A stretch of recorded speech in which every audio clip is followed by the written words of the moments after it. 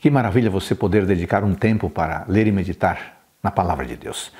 Temos lido várias vezes até aqui que a tribo de Levi não deveria ser ou não deveria ter parte na herança com seus irmãos, nenhuma parte específica do país destinada a eles, como ocorreu com outras tribos as quais receberam o seu território.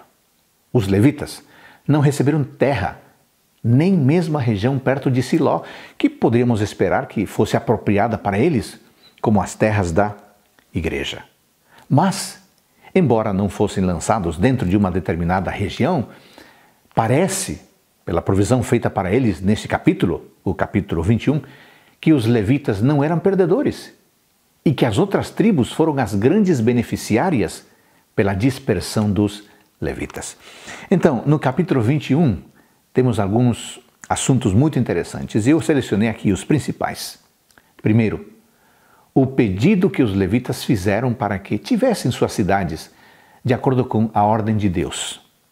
Em segundo lugar, a nomeação das cidades nas diversas tribos e a sua distribuição para as respectivas famílias de cada tribo. Em terceiro lugar, um catálogo das cidades, que eram 48 no total. Em quarto lugar, uma quitação plena de tudo que Deus tinha prometido ao seu povo Israel. As 48 cidades foram assim distribuídas da, seguinte forma: 13 cidades para os sacerdotes, filhos de Arão, 10 cidades para os coatitas, 13 para os gersonitas e 12 cidades para os meraritas. Agora, amigo e amiga, pense no seguinte: não importa a função das pessoas no povo de Deus, todas receberão sua herança, não conforme o seu merecimento, mas segundo a graça de Deus, que sempre nos dá muito mais do que sonhamos ou merecemos. Que o dia de hoje seja abençoado para você.